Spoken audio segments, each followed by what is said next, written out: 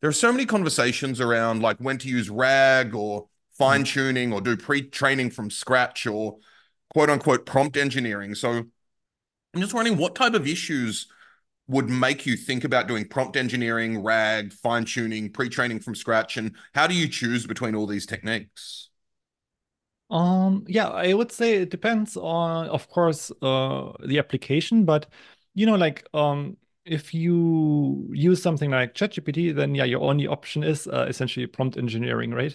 so, or if you're interested in like an LLM that can respond specifically to I don't know, you have like the PyTorch Lightning documentation and it's too long to read or too complicated, and you want the LLM to digest it for you, and you have a question like, in PyTorch Lightning, how do I XYZ? Uh, you could see if it can answer. Uh, you don't need to do anything else. And, you know, because actually I, I tried it a couple of times, it is pretty good at that. But now let's say you have a more specific software library or in-house product that has not been on the internet. So you so the LLM has not been pre-trained on that, so it doesn't know anything about that. Um, let's say software, like maybe some proprietary data. So what you could do then is you could um, see uh, if you can fit the document that you're asking questions about into the context. So you can maybe upload it. There you have to be a bit careful. I would probably not do that on ChatGPT if it's a proprietary document because yeah, it maybe can't leave your computer. You don't know what's yeah happening with the data if it leaves the computer. So in that case, you might also consider a local LLM where you run your local LLM. Um, try to fit the data you are questioning um, or you have questions about into the context. If it fits and re uh, returns a good response, yeah, maybe that's sufficient. You don't have to do anything else but then maybe um, it can't answer the question.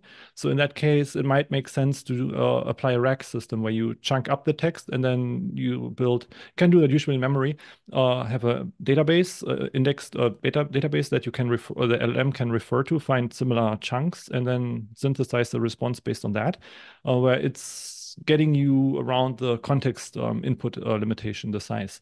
But then, yeah, if you do that a lot, you know, if you do that every day and you have really high demand on a really good LLM that uh, answers questions for that type of thing, you might think about at some point about pre-training the LLM. Maybe, maybe that helps additionally, or even fine-tuning it for certain instructions that you often tend to ask. In addition to the RAG, maybe that has uh, additional benefits. So I think it comes down to also or low effort uh, prompting to medium effort building that RAG system because that is a few extra steps. It's not much, but it is a few extra steps.